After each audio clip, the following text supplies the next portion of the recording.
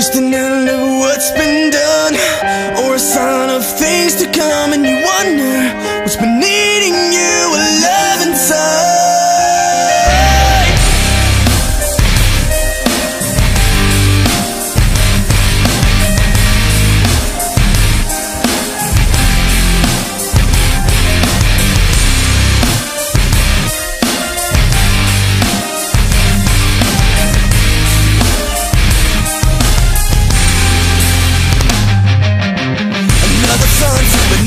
now